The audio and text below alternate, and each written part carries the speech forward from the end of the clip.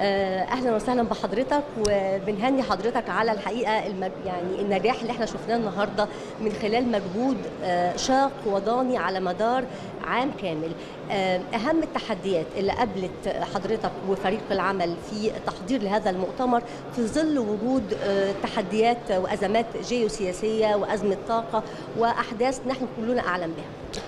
شكرا جزيلا.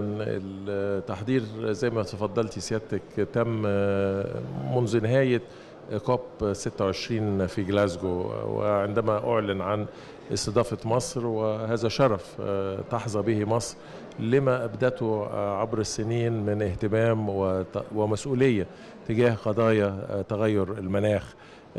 هو شرف ومسؤولية. مسؤولية أن نقود الإطار المتعدد الأطراف في قضية بهذه الأهمية.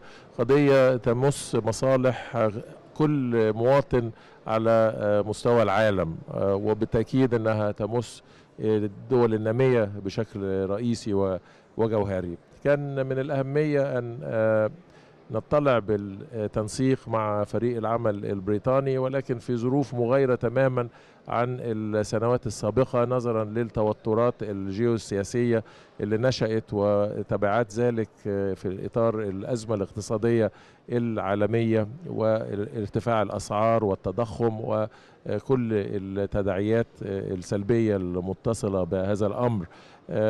لأنه جعل الأولويات اللي تم التركيز عليها منذ قم مؤتمر باريس وثم جلاسجو والتعهدات اللي قطعتها الدول على نفسها يظهر بعض التراجع وبعض تزكية أولويات أخرى غير أولوية التعامل مع تحديات قضية المناخ. فكان أهمية أنه نبرز إنه هذه القمة هي قمة التنفيذ قمة تجاوز التعهدات إلى تنفيذ التعهدات بشكل عملي بشكل واقعي. يكون له تأثير فيما يتعلق بالتخفيف والتكيف والتعامل مع القضايا الجوهرية قضية التمويل اللي تتيح القدرة على تناول قضايا التكييف التكيف والتخفيف وأيضا العمل على إدخال إلى برنامج عمل للمؤتمر قضية مطروحة على الساحة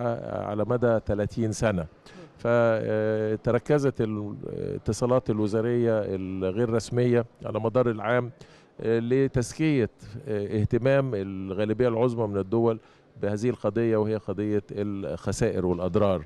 والحمد لله بعد مفاوضات عميقة ومدنية خلال 48 ساعة من قبل فريق التفاوضي المصري تم التوصل إلى اتفاق حول برنامج عمل المؤتمر واعتماده صباح اليوم بسلاسة.